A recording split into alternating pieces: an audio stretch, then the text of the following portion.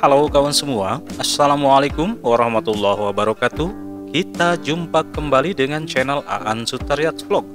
Jalan terus, jalan-jalan terus. Kembali kita ngabuburit kawan-kawan Tetapi sebelum dilanjutkan Saksikan dulu yang satu ini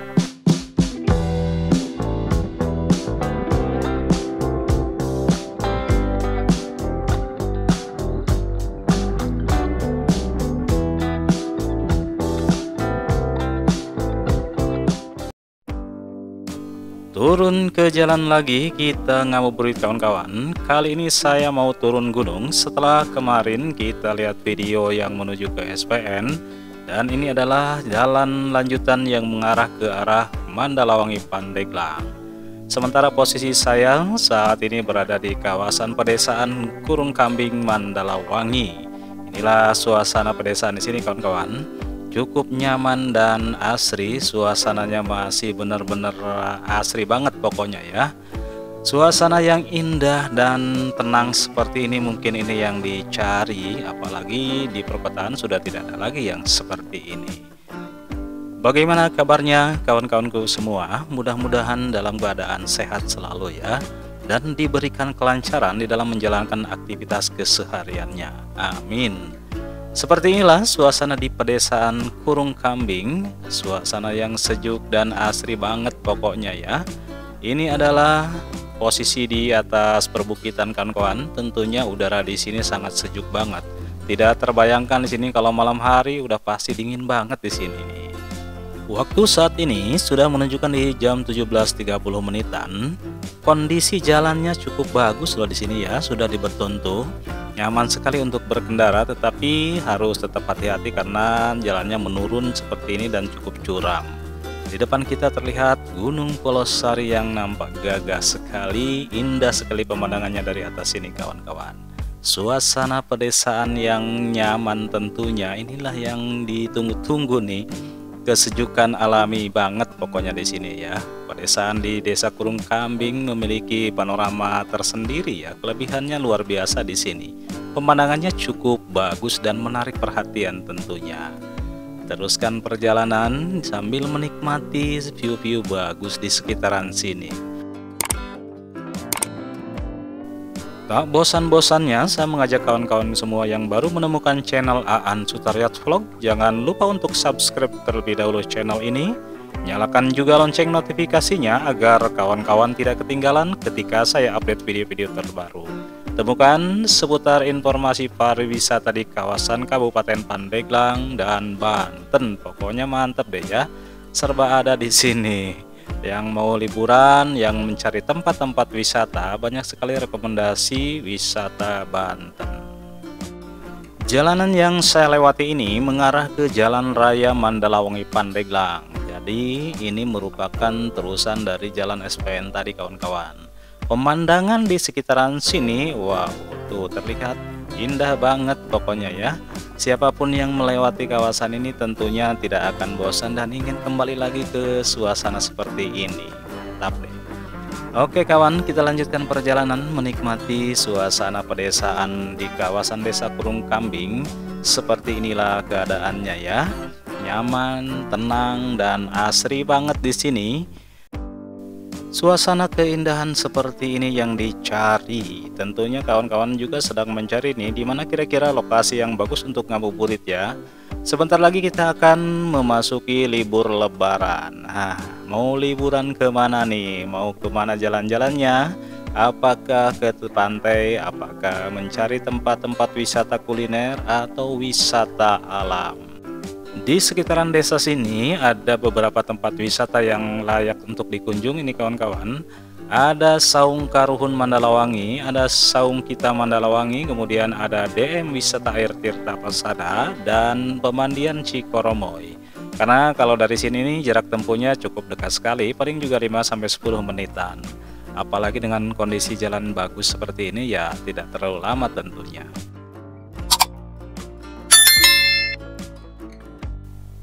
Wih, pemandangannya keren banget kan?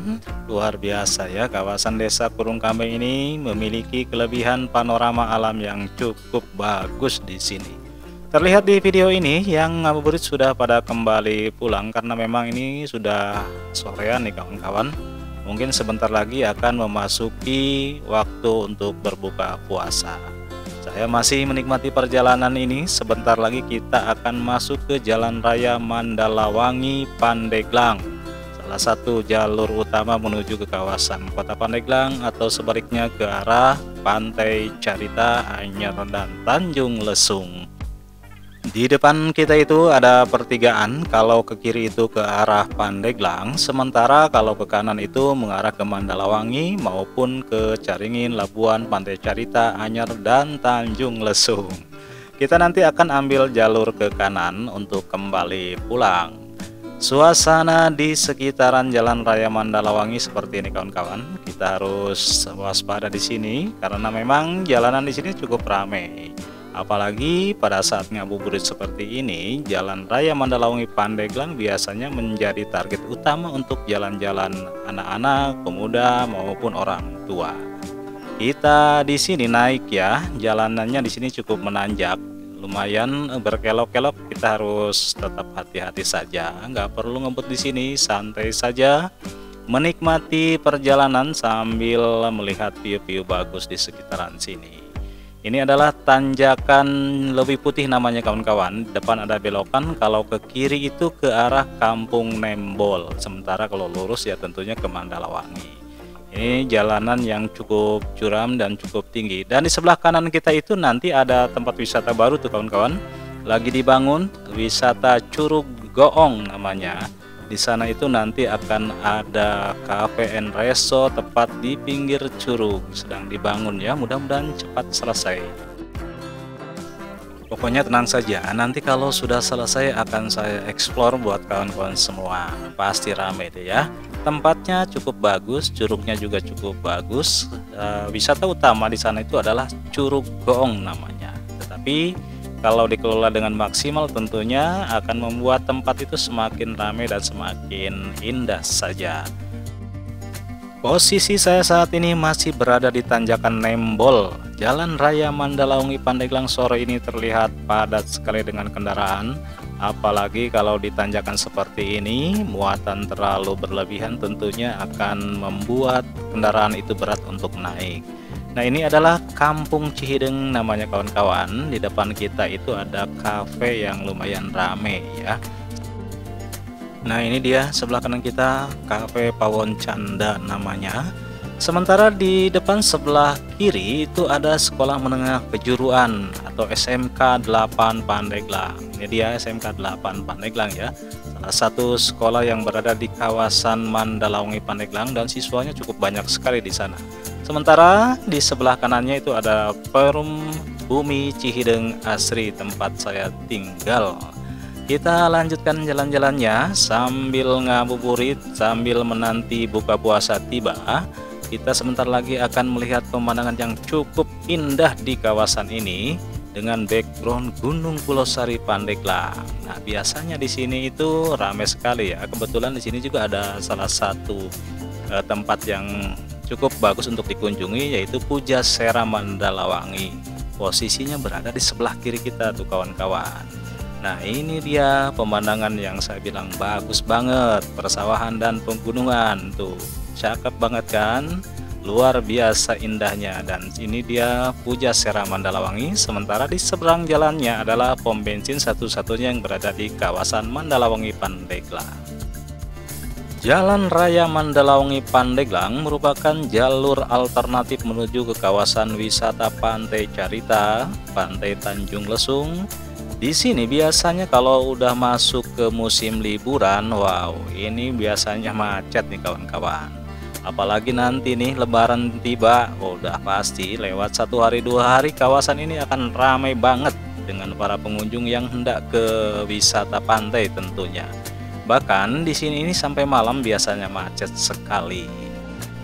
Untuk kawan-kawan yang ingin tahu lebih banyak tentang wisata di Kabupaten Pandeglang ataupun Banten ya, silakan boleh DM di Instagram saya, namanya @aan_sutaryat. Silahkan tanyakan di situ tentang wisata, apakah itu tentang tiket, kemudian tentang kondisi para wisata di Pandeglang, di pantai maupun wisata alam, atau kelebihan-kelebihan tempat wisata. Yang mudah-mudahan saya bisa memberikan masukan yang bagus buat kawan-kawan semua. Masih dalam perjalanan ngabuburit, di depan kita itu ada pertigaan kawan-kawan kalau kita ambil jalur ke kanan itu kembali ke Jalan Raya Ciomas Mandalawangi atau ke arah SPN yang kemarin kita upload ya. Kalau lurus terus tentunya ke arah Pantai Carita atau ke Caringin. Saya akan ambil jalur lurus saja. Nah, di sini biasanya ramai nih karena ini pertigaan banyak sekali pengendara yang mengarah ke arah Kota Mandalawangi atau ke Pasar Pari biasanya untuk berbelanja takjil di sore hari ini. Di kawasan ini terdapat beberapa perkantoran seperti Puskesmas Mandalawangi, Koramil Mandalawangi, kemudian di sebelah kiri kita itu adalah kantor Kecamatan Mandalawangi. Bagi warga-warga Mandalawangi yang saat ini mungkin sedang merantau di kawasan atau di kota-kota besar, baik itu di Jakarta, Bandung, Tangerang, dan sekitarannya, mudah-mudahan video ini bisa menjadi pengobat rindu, apalagi nanti lebaran sebentar lagi akan tiba, mudah-mudahan bisa pada mudik ya.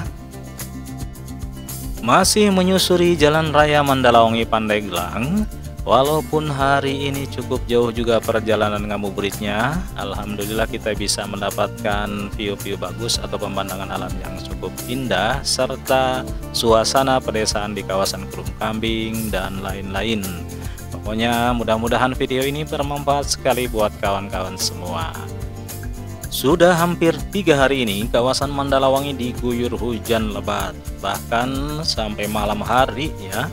Nah untuk video ngabuburit selanjutnya, saya juga akan coba eksplor tempat-tempat lain, melihat-lihat suasana ngabuburit di daerah lain. Sesaat lagi saya akan masuk ke wilayah Desa Parimandalawangi. Kalau di sini ini sudah pasti ramai banget nih kawan-kawan Selain banyaknya pertokoan, di sini juga banyak penjual takjil yang kalau di bulan puasa ini berjajar sepanjang jalan. Tentunya kawasan Desa Pari ini menjadi target utama yang sedang ngabuburit atau untuk berburu takjil. Apalagi di sini terdapat satu pasar namanya Pasar Pari Mandalawang. Kondisi jalannya sudah bagus sekali di sini, mantap ya, sudah dicor atau dibeton. Nah, ini dia wilayah Kampung Pari Timur namanya. Kemudian di sana itu adalah Kampung Pari, selanjutnya Pari Barat. Oke kawan-kawan, sampai di sini dulu perjumpaan kita di video ini. Mudah-mudahan informasi ngabuburit ini bermanfaat sekali. Terima kasih selalu setia menonton video-video saya. Assalamualaikum warahmatullahi wabarakatuh.